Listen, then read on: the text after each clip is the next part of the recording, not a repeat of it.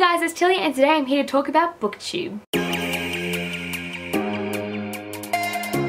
So basically the first half of this video is going to be me giving you guys tips, tricks and advice on how to booktube and whether you guys should booktube or not and the second half will be my story on booktubing. First of all, if you guys want to create a booktubing channel, make sure that you do it for yourself.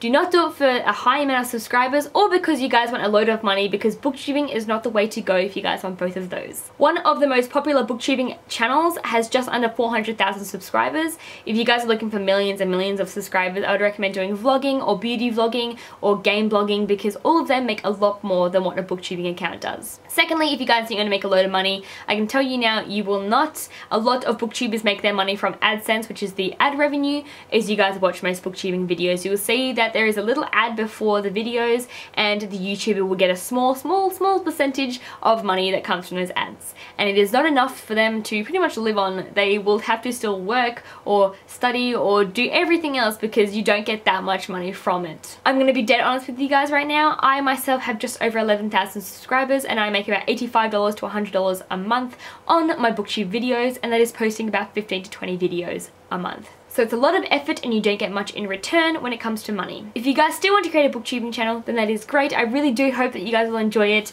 and I highly, highly recommend it. When I started out booktube, I find that I have become a lot more confident in myself and with other people and with my opinion on books as well and I definitely have become a stronger person in a booktube community. I feel like I have a good friendship circle when it comes to books and booktubers. When you guys are going to create your booktubing channel, I highly recommend that you guys have a bookish URL. It is a sure signal for people to know that you guys going to be a channel with bookish content and they will subscribe and watch your videos just by that. When it comes to actually filming your videos, I recommend that you guys have a high quality camera with a good microphone and that way that people can see you clearly when you do upload your videos. In saying that, you guys do not need to spend thousands and thousands of dollars on a camera or filming equipment. My first vlogging camera was a $99 webcam and that worked just fine for me. I do recommend though that you guys do look around, do your research. If you guys just Google how much it costs for a good camera with filming, there will be plenty of options come up for you guys. In the video for people to watch, it is a lot more enjoyable to have a clean cut video without any errors throughout it or any awkward breaks.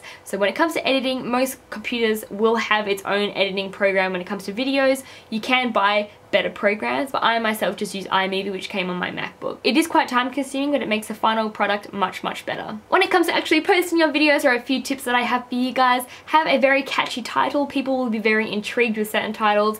My most popular video is Books I Hate, and that is just the title of the video. It has what 55,000 views, and I think a lot of those views came because people want to see what books I mentioned, if it was one of the books that they like or disliked. It was just a title that intrigued a lot of people. When it comes to actually making making your videos, try to create original content. People like to see what you have to offer in the booktube community and if something different, you'll have a very good outcome from it as well. In saying that though, I do believe if you guys do want lots of viewers or subscribers, I recommend also posting popular videos.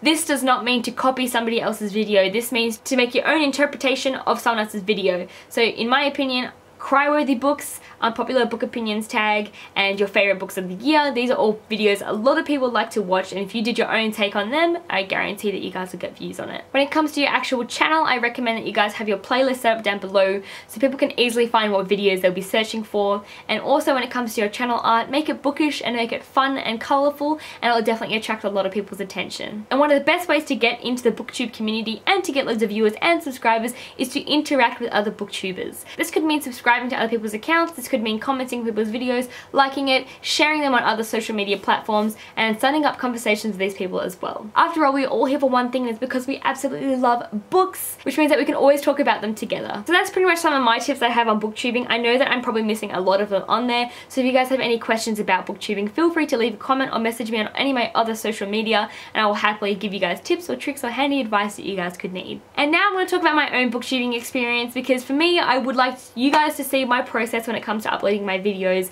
and editing them and posting them for you guys to watch. When I first started booktube it was very different to what it is like now. I watched my first video ever a few weeks ago and it was absolutely cringeworthy. I was so bad at editing and filming and my topics were all just so crap compared to what they are now. I'm very very happy with where I've come and where I am now in my booktubing process. I'm very, very grateful for booktube for not only making me a more comfortable person when it comes to myself and other people, but I have created a really great friendship circle that I know I never want to lose. So when it comes to actually doing my videos, I have a very, very strict schedule when it comes to editing and posting my videos and everything like that.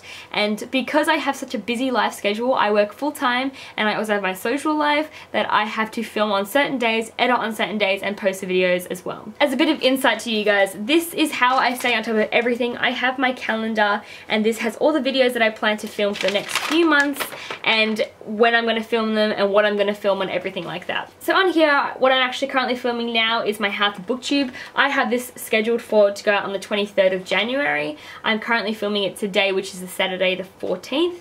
And so obviously I have a lot of pre-filmed videos ready to go out because if I don't have them ready, I probably won't get around to doing them and then have really irregular uploads and I really don't want that. I have one day dedicated every week to filming my videos and I try to film three to four videos a week so that I can upload them. In this one I have my How to Booktube, Australian authors and an unboxing as well and that'll take me up to the end of January. I really really try to stay on top of what I'm going to be videoing which is why I have my videos planned out for such a long time in advance because otherwise I spend my time standing in front of the camera trying to figure out what I'm going to speak about and it's just pointless because I waste half the day when I could have been filming videos. So once I do film these videos I have about two to three days to edit all of them and then I upload them on certain days because it's when the Wi-Fi is better than other days so it's very very strict schedule to get everything out and everything ready. When it comes to actually editing that is another whole day for me to take off to just edit my videos. It is a very very very time consuming process and because I upload so many videos it is a whole lot of work for me to do it. Like I said earlier in this video I only make about 85 to $100 when it comes to my ad revenue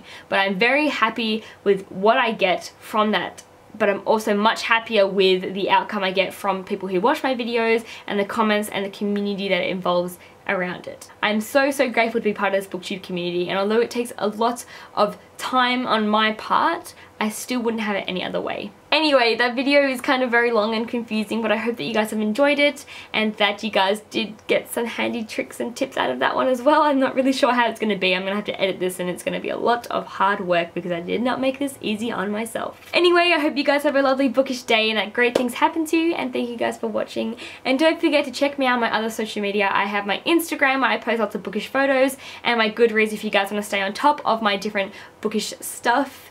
And then I also have all my Facebook and blog and everything else down below. Thanks, bye! Alright, so all of my subscribers in a room right now, this is what it would look like.